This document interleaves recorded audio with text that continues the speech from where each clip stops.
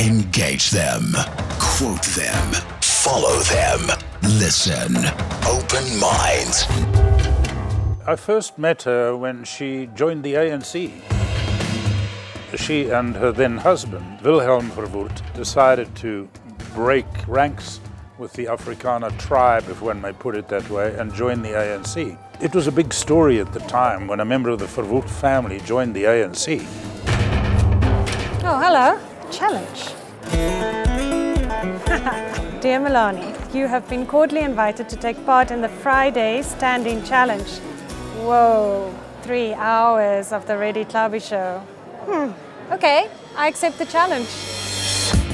And Melanie's great strength is that she is very articulate. I just want to remind myself that we are talking about reimagining Afrikaner identity. What is Afrikaner identity? What is it? She expresses herself in a way that people who are not deeply involved in politics can easily understand. This is a complex subject because people are complex, identities are complex. She's very, very clear, doesn't get lost in complexities, which I think too many analysts do.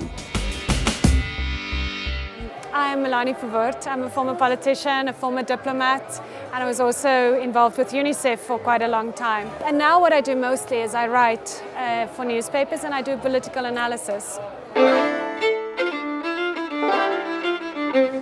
People are saying they are hurting because of what happened in the past and what continues to happen at the moment. Today I'm here at WITS um, talking about, of all things, reimagining Afrikaner identity, race, cultural difference.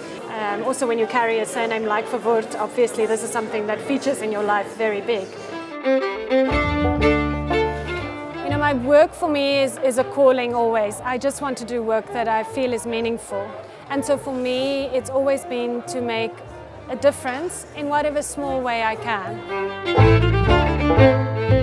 I did a tiny bit of broadcasting while I was living in Ireland and had a show, a one hour show, but it was pre-recorded and we didn't have call-ins like, like Redi Show.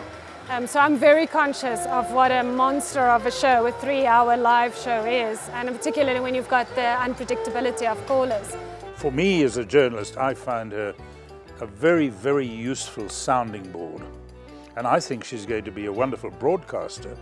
No, I think if I'm going on radio, I should take the midnight slot where nobody except the prisoners are actually listening to you because I think nobody else will listen, which would be good. Once it goes green, it's in It's here, in it's here, live, it's it's on live. air. And when it's flashing like that, you know this is the next one That's to the one one should take. You know, the thing that makes me most nervous is most probably the technical stuff, like buttons and screens and communications. Not so much the talking bit, but that worries me.